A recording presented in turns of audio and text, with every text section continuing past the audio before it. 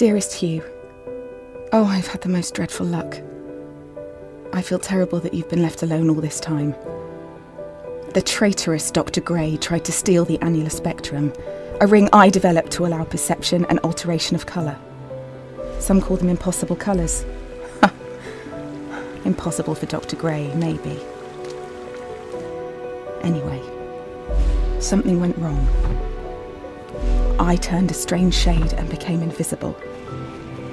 I stayed at home for weeks, watching, waiting, existing on this coloured plane, and I couldn't speak to you, nor interact with objects in the mono world. So I left. I left the university where I hid away the coloured tools I had created, just in case I could return. I am writing this letter with coloured ink. I pray you have found the ring and can read this. Yours lovingly, Mum.